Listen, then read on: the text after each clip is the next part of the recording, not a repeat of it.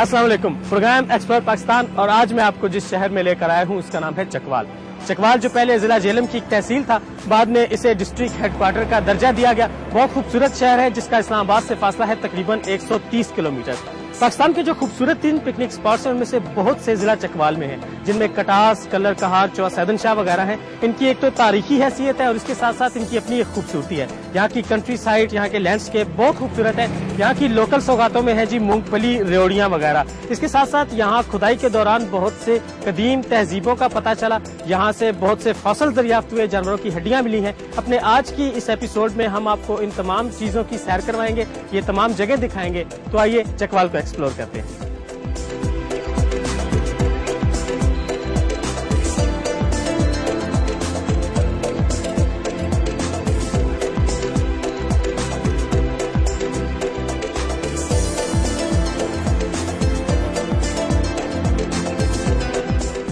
چکوال ایک عرصے تک ضلع جیلم کی تحصیل رہا ہے، جسے بعد میں ڈسٹرکٹ ہیڈ کوارٹر کا درجہ دیا گیا، سیاحت اور تاریخ چکوال کے بنیادی حوالہ جات ہیں۔ اس شہر کی تاریخ بہت پرانی ہے اور یہاں سے ملنے والے نوادرات کروڑوں سال پہلے اس خطے میں زندگی کی موجودگی کے گواہ ہیں۔ چکوال ایک گنجان آباد شہر ہے۔ اللہ اللہ اللہ اللہ اللہ اللہ اللہ اللہ شہر کے وسط میں واقع یہ خوبصورت مسجد فن تعمیر کا نادر نمونہ ہے۔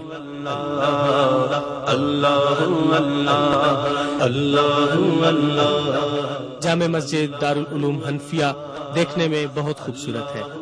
اس کا فن تعمیر روایتی طرز کا ہے۔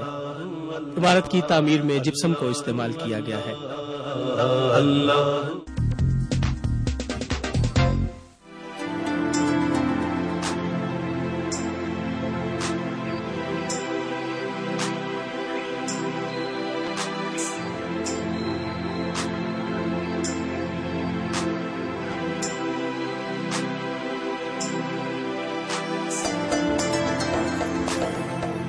ریوڑیاں چکوال شہر کی سوغات ہیں اور یہ سوغات چکوال شہر کے مکینوں کے جذبوں میں گھلی مٹھاس کی عکاسی کرتی ہے۔ انہیں دیسی گھی اور گڑ کی مدد سے تیار کیا جاتا ہے۔ ریوڑیوں کی تیاری کے مراحل بہت دلچسپ اور منفرد ہیں۔ ضلع چکوال جسے شہیدوں اور غازیوں کی سرزمین کہا جاتا ہے، اس کو انیس سو پچاسی میں ضلع کا درجہ دیا گیا اور اس کے بعد اب گزشتہ بائیس سالوں میں ضلع چکوال نے بڑی تیزی سے تعمیر و ترقی کا ایک بھرپور کردار یہاں پر جو شروع ہوا، اس کے نتیجے میں اب یہ پنجاب کے ترقی یافتہ اضلاع میں اس کا شمار ہونے لگا ہے۔ ضلع چکوال کا سب سے بڑا حوالہ یہ ہے کہ یہ سارے قدیمہ کی جنت ہے۔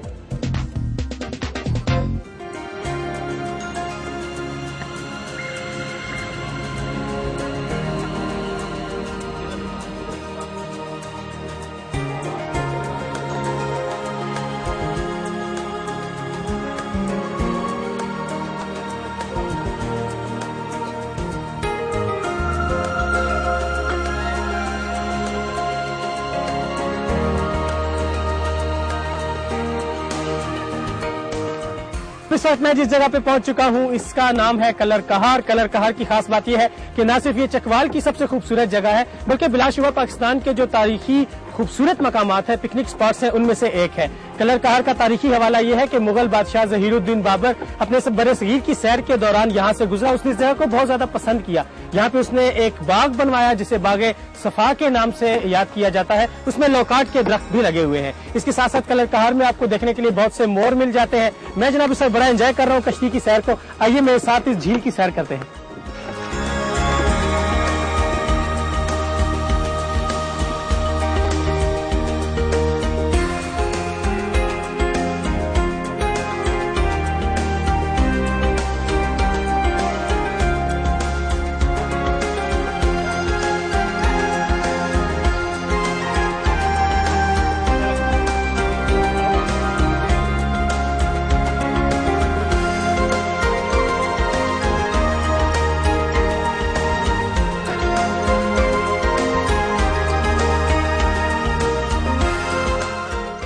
کے باہر مختلف دستکار اپنی دستکاریوں سمیت نظر آتے ہیں۔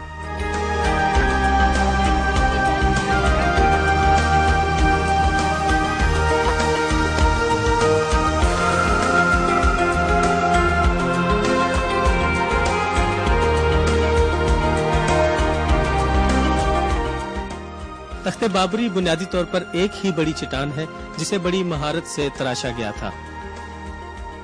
مگر اب یہ چٹان حوادث سے زمانہ کا شکار ہوتی جا رہی ہے۔ تاریخی حوالے سے تخت بابری کو کلر کہار میں بڑی اہمیت حاصل ہے۔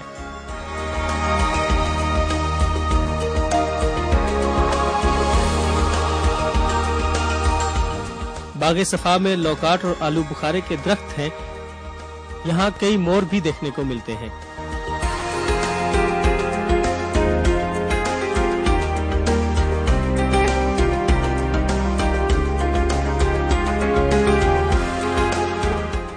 اسی باغ کے بیچوں بیچ مغل بادشاہ ظہیر الدین بابر نے اپنی فوج سے خطاب کیا تھا۔ کلرکار سے تقریباً دو کلومیٹر باہر یہ تلا گنگ روڈ ہے۔ اور یہاں پینے کے پانی کا مسئلہ اتنا ہے کہ زمینی پانی کی کوالٹی بالکل بھی اچھی نہیں۔ اور یہاں پہ ایک بولی قائم ہے۔ اس کے بارے میں روایت یہ ہے کہ اسے بادشاہ ظہیر الدین بابر کے زمانے میں بنایا گیا تھا۔ بنیادی طور پہ یہ ایک چشمہ ہے جس کی گہرائی تقریباً پانچ فٹ ہے۔ مقامی لوگ پینے کا پانی اسی سے بھرتے ہیں اور سردیاں ہو یا گرمیاں، اس کی اچھی بات یہ ہے کہ سارا سال اس کا پانی جاری رہتا ہے۔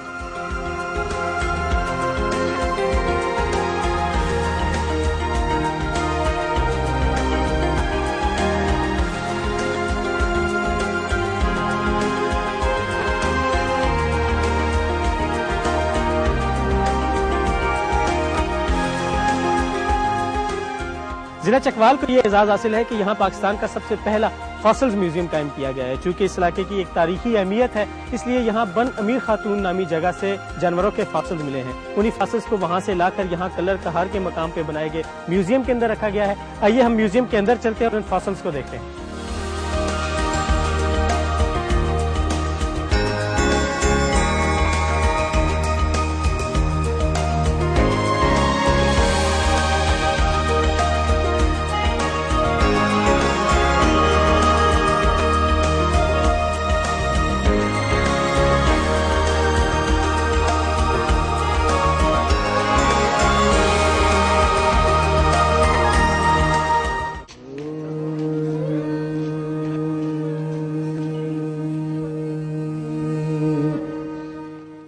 بہار میں دو شہید بھائیوں کا مزار ہے۔ یہ دونوں شہید بھائی آزادی کی جنگ لڑتے لڑتے شہید ہوئے۔ اس مزار پہ زائرین کی آمد ہر وقت جاری رہتی ہے۔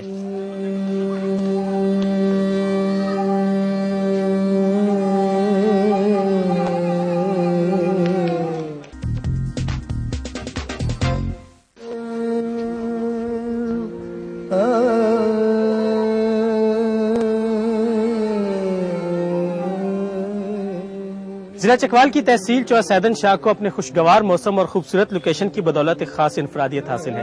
یہ چاروں طرف سے پہاڑوں میں گھری ایک خوبصورت وادی ہے۔ یہاں حضرت سخی سیدن شاہ شیرازی کا مزار ہے۔ اسی نسبت سے اس شہر کا نام چوہ سیدن شاہ رکھا گیا ہے۔ اس کے علاوہ یہاں کا گدھالا باغ کے جس کے اندر لوکاٹ اور آلو بخارے کے درخت ہیں اور اس کے ساتھ ساتھ یہاں کی اگر ہم سوغاتوں کی بات کریں تو یہاں گلاب کا ارک نکالا جاتا ہے اور اس لیے یہاں پہ کئی بھٹیاں لگائی گئی ہیں۔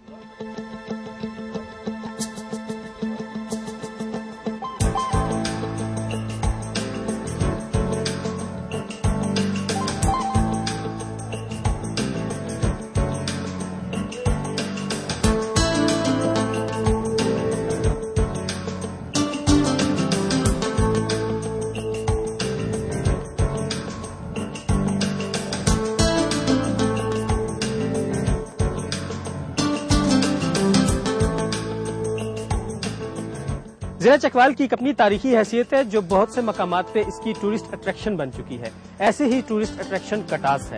کٹاس کا فاصلہ چکوال سے تقریباً بتیس کلومیٹر ہے اور اسے کٹاس راج بھی کہا جاتا ہے۔ اس کی ایک تاریخی حیثیت ہے، ہندوؤں کی مقدس کتاب مہا بھارت کے مطابق شیو راج اپنی بیوی ستی کی وفات پر اس کے غم میں اتنا رویا کہ یہاں سے دو چشمے پھوٹ پڑے۔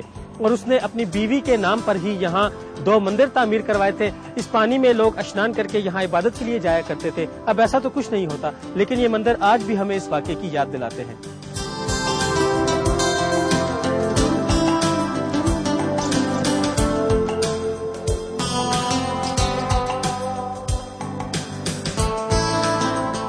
کٹاس ہندوؤں اور سکھوں کا مشترکہ مقدس مقام ہے۔ یہ فن تعمیر کا نادر نمونہ ہے۔ معروف سکھ جرنیل مہاراجہ ہری سنگھ کی یہاں آمد کے شواہد بھی ملتے ہیں۔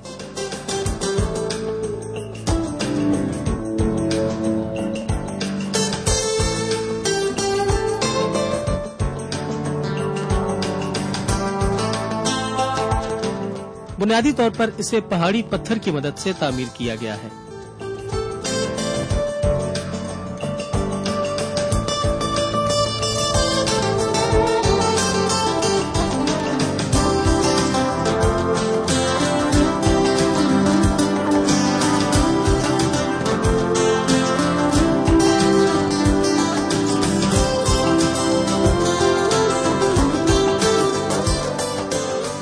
بعض جگہوں پہ سنگ سرخ کا کام کیا گیا ہے۔ اپنے دور کی یہ عظیم الشان جگہ آج بھی یہاں آنے والے سیاحوں کے لیے کشش کا باعث ہے۔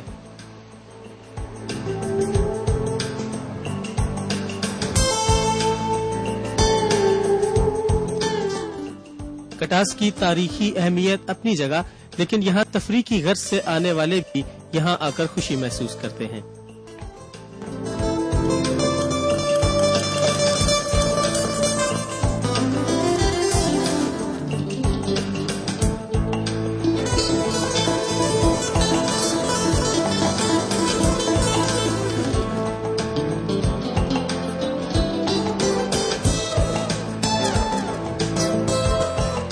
اقوال کو اللہ تعالیٰ نے فطری حسن سے مالا مال کیا ہے۔ یہاں کے پہاڑ کا پتھر سیمنٹ کی تیاری کے لیے بے حد موزوں ہے۔ یہی وجہ ہے کہ یہاں سیمنٹ کے بڑے بڑے پلانٹ لگائے گئے ہیں۔